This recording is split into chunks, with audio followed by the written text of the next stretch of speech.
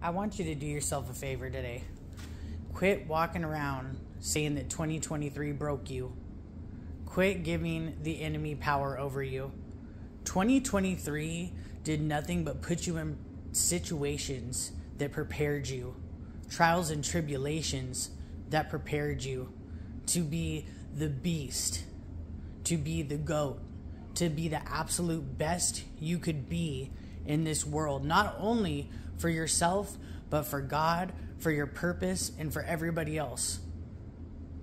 Because we all got to coexist. We all got to do our part, okay? So I want you to quit walking around crying, saying 2023 broke you because it did not.